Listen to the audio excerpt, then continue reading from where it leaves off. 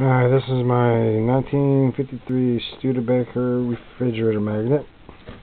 Of course it's sealed in a poly bag, protected. These are all vinyl glossy magnets. And I sell these on my website and my eBay store.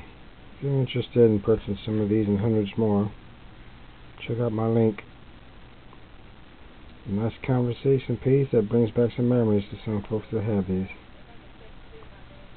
Alright. Nice gifts too as well. Alright, thanks for looking.